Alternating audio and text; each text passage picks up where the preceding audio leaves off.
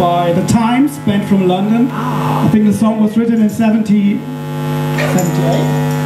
I guess so, 78, something like So that. let's say maybe it was one of the first indie pop songs ever written by Edward Ball, and it's called My Andy Warhol Poster. Oh. Hmm.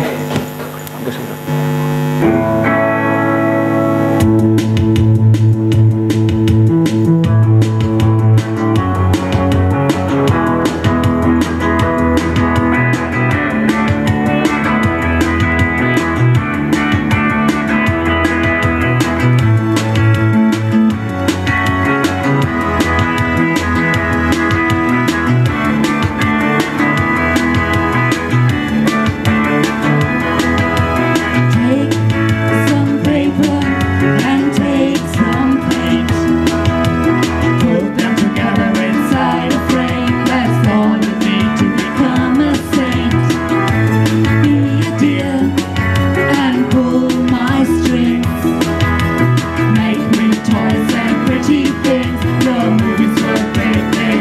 make me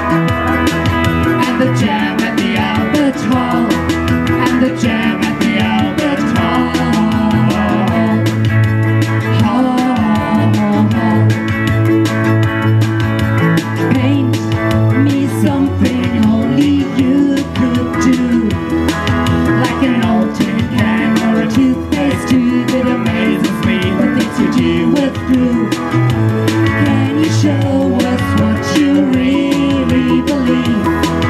Or is it all just paper and ink? And of course, all my friends will tickle pink. We would like to tell you what we think. We want you for president.